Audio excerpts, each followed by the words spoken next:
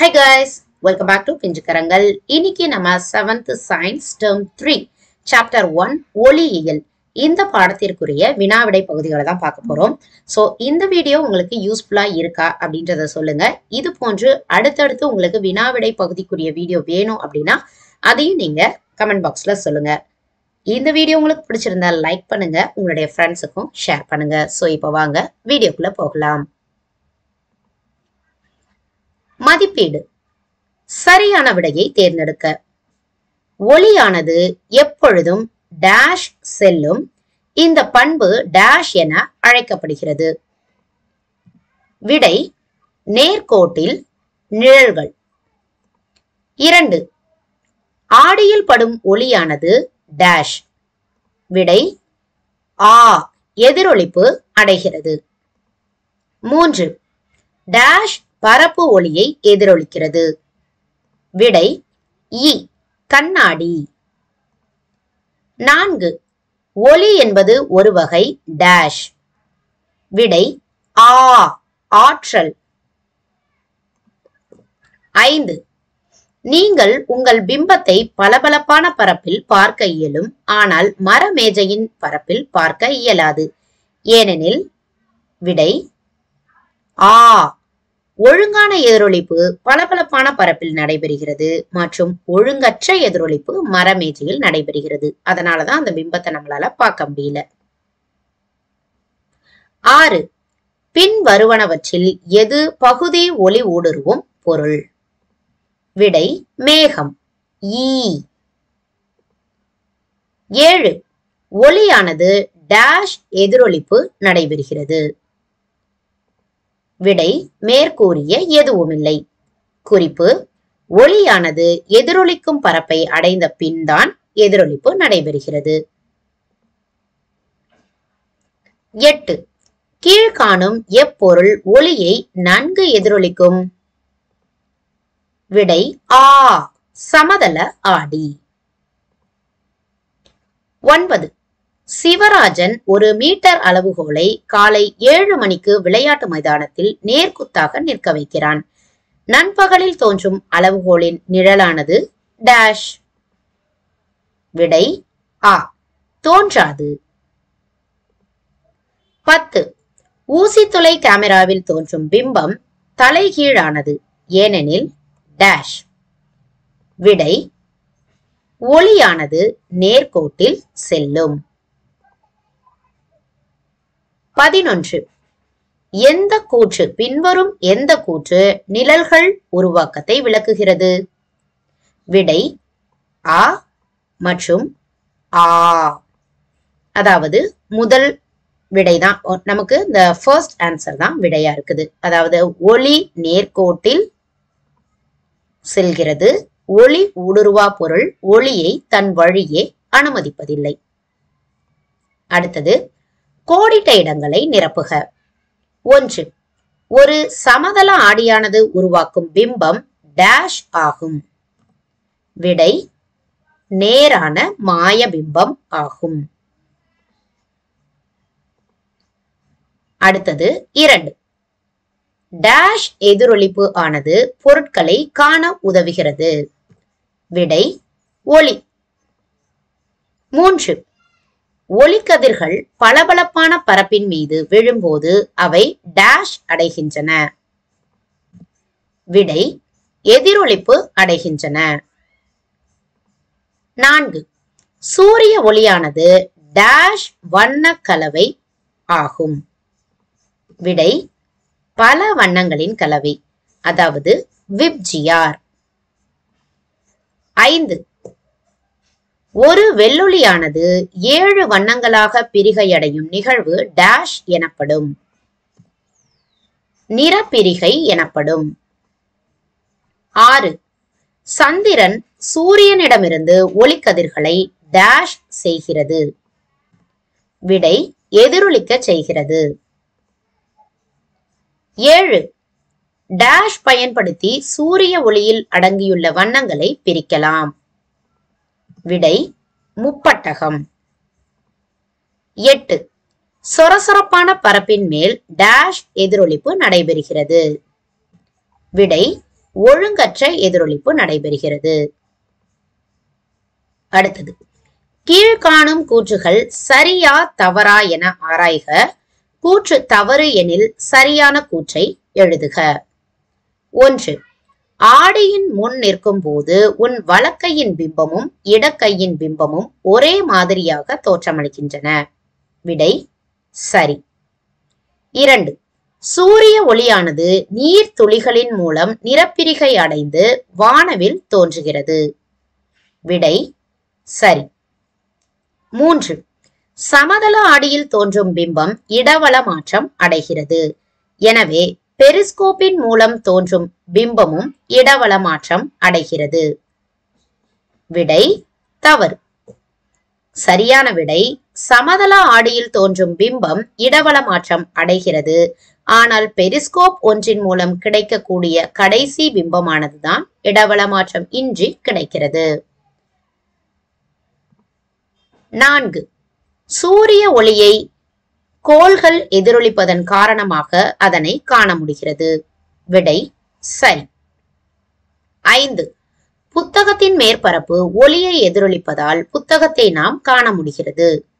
விடை சரி. ஆறு. ஊசித்துளை கேமராவில் தோன்றும் பிம்பம் நேர்மாறு பிம்பம் ஆகும். விடை சரி. ஏழு. ஊசித்துளை கேமராவில் தோன்றும் பிம்பத்தின் அளவும் பொருளின் அளவும் சமம். விடை தவறு. சரியான விடை ஊசித்துளை கேமராவில் தோன்றும் பிம்பத்தின் அளவு பொருளின் அளவிலிருந்து மாறுபடலாம். எட்டு. சமதள ஆடியில் தோன்றும் பிம்பம் தலைகீழ் மாற்றம் அடைகிறது. விடை தவறு. சரியான விடை சமதள ஆடியில் தோன்றும் பிம்பமானது தலைகீழ் மாற்றம் அடைவதில்லை. ஒன்பது. சமதள ஆடி ஒளி ஊடுருவாத ஒரு பொருளாகும். விடை சரி. பத்து. ஒரு பொருளின் நிழல் பொருளில் இருக்கும் அதே பக்கத்தில் அமையும். விடை தவறு. சரியான விடை ஒரு பொருளின் நிழலானது ஒளி மூலம் இருக்கும் திசைக்கு எதிர் திசையில் உருவாகும். பதினொன்று. நம்மை சுற்றி இருக்கும் பொருட்களை ஒளியின் ஒழுங்கான எதிரொலிப்பின் மூலமே காண்கிறோம். விடை சரி. பனிரெண்டு. ஒரு வெள்ளொளியானது முப்பட்டகம் வழியே செல்லும் போது அது ஏழு வண்ணங்களாக பிரிகையடைகிறது. விடை சரி. அடுத்தது பொருத்துக நேர்கோட்டு பண்பு சமதள ஆடி மின்மினி பூச்சி நிலா அகன்ற ஒளி மூலம் ஒழுங்கான எதிரொலிப்பு சூரியன் ஏழு வண்ணங்கள். இதன் புறம் முதன்மை ஒளி மூலம் ஒளிரா பொருள் பெரிஸ்கோப் ஊசித்துளை கேமரா நிறப்பட்டை ஒளிரும் பொருள் புறநிழல் பளப பளபளப்பான பரப்பு. இதற்கான சரியான விடையை இங்கே காணலாம்.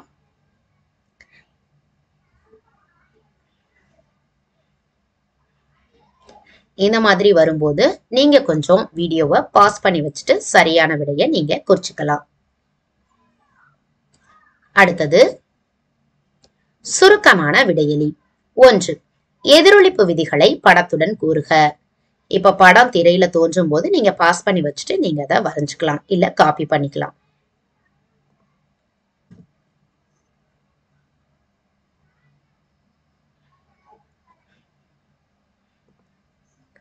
இரண்டு படத்தில் ஒரு பென்சில் ஒரு ஆடியின் மேலே இருக்கும் நிலையை காட்டுகிறது. எனில் ஆ ஆடியில் தோன்றும் பென்சிலின் பிம்பத்தை வரைக. இதுக்குரிய பதில்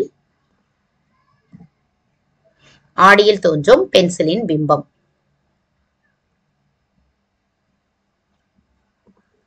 அடுத்தது பென்சிலில் இருந்து வரும் ஒளிக்கதிர்கள் எவ்வாறு ஆடியில் எதிரொலிக்கப்பட்டு கண்ணிற்கு அதன் பிம்பம் கிடைக்கிறது? இதற்கான பதில் பென்சிலில் இருந்து வரும் ஒளிக்கதிர்கள் எவ்வாறு ஆடியில் எதிரொலிக்கப்பட்டு கண்ணிற்கு அதன் பிம்பம் கிடைக்கிறது? இந்த மாதிரி பிக்சர்ஸ் வரும்போது நீங்க ஜஸ்ட் பாஸ் பண்ணி வச்சுட்டு காப்பி பண்ணிக்கோங்க. அடுத்தது மூன்று. ஒருவர் தன் முன்னால் ஆடியில் ஒரு மரத்தின் பிம்பத்தை மூன்று புள்ளி ஐந்து மீட்டர் தொலைவில் இருந்து பார்க்கிறார். மரம் அவர் கண்களிலிருந்து பூஜ்ஜியம் புள்ளி ஐந்து மீட்டர் தொலைவில் பின்னால் இருக்கிறது. ஏனில் மரத்திற்கும் அவர் கண்ணிற்கும் இடையே உள்ள தொலைவு என்ன? பொருளை காண நமக்கு அவசியமான காரணிகள் யாவை? விடை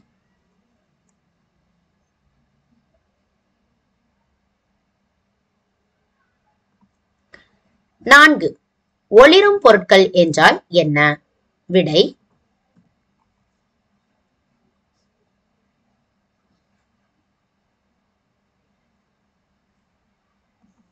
ஐந்து. நிலா ஓர் ஒளிரும் பொருளா? காரணம் கூறு. விடை.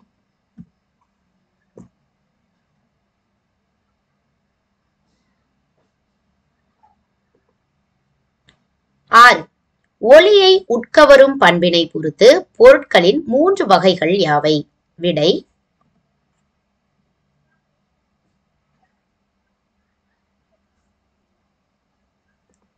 ஏழு. நிழல்களின் பகுதிகள் யாவை? விடை.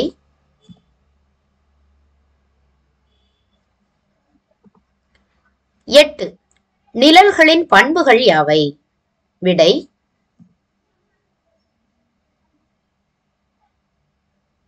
ஏன்னா நான் ஒவ்வொரு கொஸ்டினையுமே நான் ரீட் பண்ணி காமிச்சேன். ஆன்சர்ஸை ரீட் பண்ணி காமிச்சேன்னா டைம் நிறைய இருக்கும் அப்படின்றதுனால தான் you just pass and copy that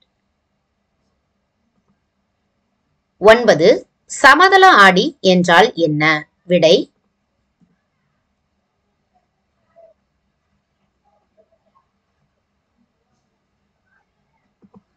பத்து. முப்பட்டகம் என்றால் என்ன? விடை.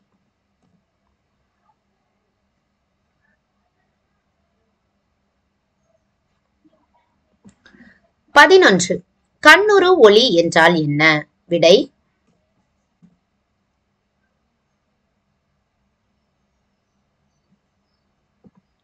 பனிரெண்டு.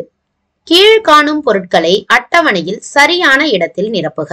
நட்சத்திரம் செங்கல் சுவர் தாவரங்கள் கண்ணாடி கோள்கள் மின்பல்பு எரியும் மெழுகுவத்தி அதாவது இத ஒளி மூலங்கள் ஒளியை எதிரொலிப்பவைன்னு பிரிக்கணும். விடை?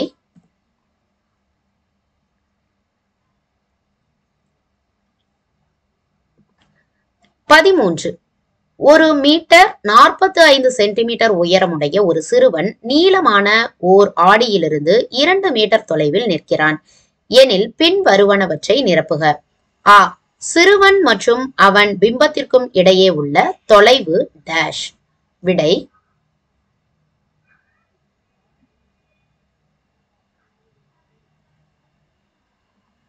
அடுத்தது ஆ. ஆடியில் தோன்றும் சிறுவனுடைய பிம்பத்தின் உயரம். விடை.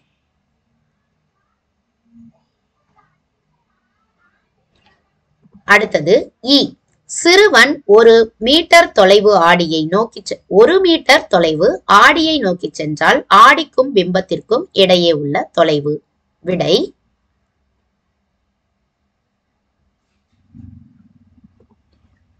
பதினான்கு. ஏதேனும் ஒரு பொருள் ஒன்றையும் ஊசித்துளை கேமரா ஒன்று உருவாக்கும் அப்பொருளின் பிம்பத்தையும் வரைக. விடை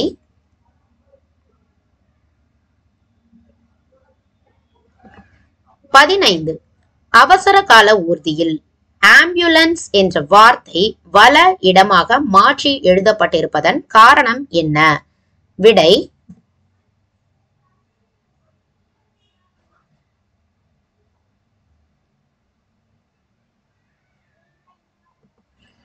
பதினாறு. ஆடியில் தோன்றும் சில பெரிய ஆங்கில எழுத்துக்களின் பிம்பங்கள் மாறாமல் இருக்கின்றன. இதர பெரிய ஆங்கில எழுத்துக்கள் பிம்பங்கள் மாற்றமடைகின்றன. இதற்கு காரணம் என்ன? விளக்குக. விடை.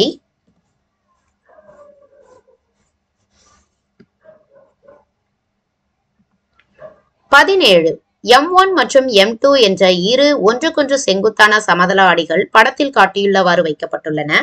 ஏபி என்ற கதிர் எம் ஒன் என்ற சமதள ஆடியோடு நாற்பத்து ஐந்து டிகிரி படுகோணத்தை ஏற்படுத்துகிறது. அப்படின்னு சொன்னா இதுல நான்கு கேள்விகள் இருக்கு. ஒவ்வொன்றிற்குமான விடைகள்.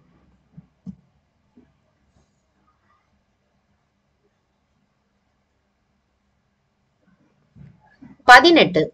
ராஜன் கடிகார பிம்பங்களின் படங்களை கொண்டு விளையாடுகிறான். அவன் தன் அறையில் உள்ள கடிகாரத்தை பார்க்கிறான். அது ஒன்று நாற்பது என காட்டுகிறது. பின்வரும் படங்களின் ராஜன் கடிகார மற்றும் அதன் கண்ணாடி பிம்பத்தின் கடிகார முட்களை எவ்வாறு வரைந்திருப்பான்? விடை.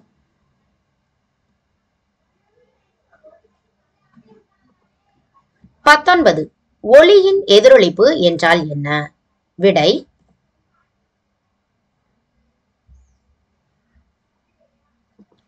இருபது. ஓர் ஒளிக்கதிர் ஐம்பது டிகிரி கோணத்தில் ஒரு சமதள ஆடியில் விழுகிறது எனில் எதிரொலிப்பு கோணம் என்ன? விடை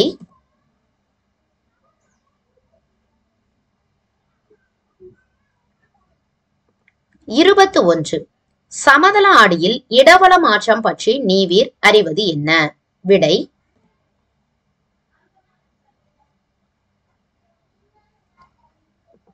இருபத்து இரண்டு. வெள்ளொளியின் நிற தொகுப்பை எவ்வாறு பெறலாம்? விடை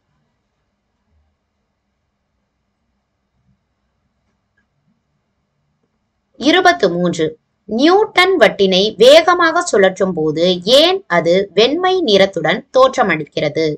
விடை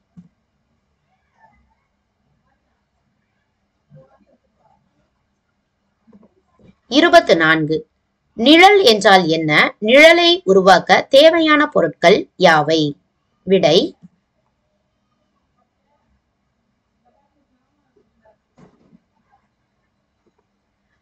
அடுத்தது பின்வரும் வினாக்களுக்கு விரிவாக விடையளி ஒன்று ஒழுங்கான மற்றும் ஒழுங்கற்ற எதிரொலிப்பு என்றால் என்ன? படத்துடன் விவரி விடை இது ஒழுங்கான எதிரொலிப்பு. இரண்டு படங்கள் இங்க இருக்கு. அதற்கு தகுந்த வண்ணம் நம்ம படத்தை வரைஞ்சுக்கலாம். அடுத்தது ஒழுங்கற்ற எதிரொளிப்பு படங்கள் தெளிவா இருக்கணும். ஒழுங்கற்ற எதிரொலிப்பு ஒழுங்கான எதிரொளிப்பு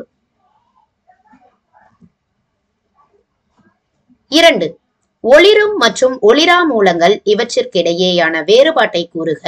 ஒவ்வொன்றிற்கும் ஒரு எடுத்துக்காட்டு தருக. விடை.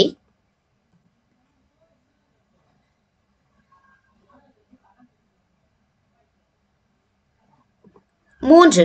அன்றாட வாழ்வில் நீ காணும் ஒளியின் நேர்கோட்டு பண்பு நிகழ்வுகள் இரண்டினை கூறுக. விடை.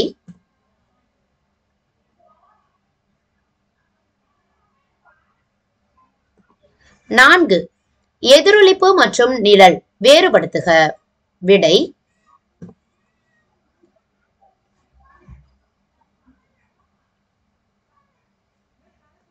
ஐந்து. சமதள ஆடியில் தோன்றும் பிம்பத்தின் பண்புகளை கூறுக. விடை. சமதள ஆடியில் தோன்றும் பிம்பம் நேரானது. சமதள ஆடியில் தோன்றும் பிம்பம் மெய் பிம்பமாகும் சமதள ஆடியில் தோன்றும் பிம்பமும் பொருளும் ஒரே அளவில் இருக்கும். சமதள ஆடியிலிருந்து பொருள் இருக்கும் தொலைவும் பிம்பம் தோன்றும் தொலைவும் சமம். சமதள ஆடியில் தோன்றும் பிம்பம் இடவள மாற்றம் பெறும். ஆறு. பின்வரும் படங்களின் மூலம் நீவீர் அறிவது என்ன? ரெண்டு பிக்சர்ஸ் கொடுத்திருக்கிறாங்க. இதுல இருந்து நீங்க தெரிஞ்சுக்கிறது என்னன்றதுதான் கேள்வி. விடை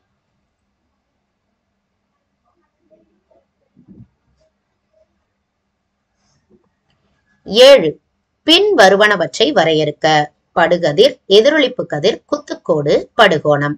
விடை. ஒவ்வொன்றிற்கும் ஒன்றிலிருந்து இரண்டு வரிகள் பதிலாக இருக்கிறது. அடுத்தது எட்டு. சமதள ஆடியில் தோன்றும் பிம்பங்களை ஊசித்துளை கேமரா. உருவாக்கும் பிம்பங்களோடு ஒப்பிடுக. விடை. எப்பயுமே இந்த டேப்லர் காலம் மாதிரி இருக்கக்கூடிய வினாக்களுக்கு தவறாம விடையளிச்சிருங்க இதுதான் நமக்கு தெளிவான பதிலாகவும் இருக்கும். மார்க்கையும் டக்குன்னு நமக்கு வாங்கி கொடுக்கும்.